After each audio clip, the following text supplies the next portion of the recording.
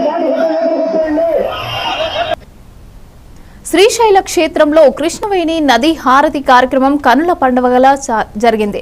లోక కళ్యాణాన్ని కాంక్షిస్తూ కృష్ణవేణి నది తల్లికి గంగా హారతి ఇచ్చారు. అంతకు ముందు చీరే సారెలు పసుపు కుంకుమలు వాయినంగా సమర్పించినట్లు ఈవో లవన్న తెలిపారు.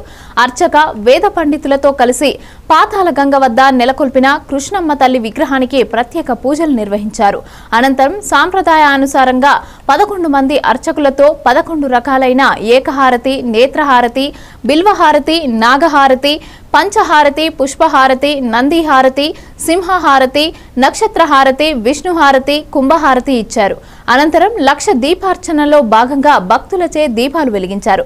ఈ కార్యక్రమంలో ఆలయ ఈవో లవన్న ప్రధాన అర్చకులు భద్రయ్య మార్కండేయ శర్మ ముఖ్య అర్చకులు హరిస్వామి ఈఈ మురళీకృష్ణ శ్రీశైల ప్రభా సంపాదకులు అనిల్ కుమార్ పిఆర్ఓ శ్రీనివాసరావు పర్యవేక్షకులు శ్రీహరి ఆలయ ముఖ్య భద్రతా అధికారి నరసింహారెడ్డి అయ్యన్న రవికుమార్ పాల్గొన్నారు.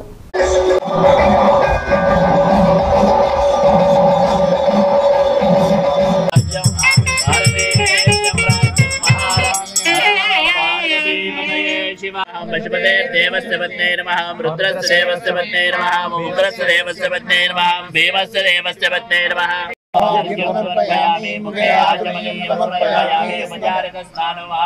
దేవానాం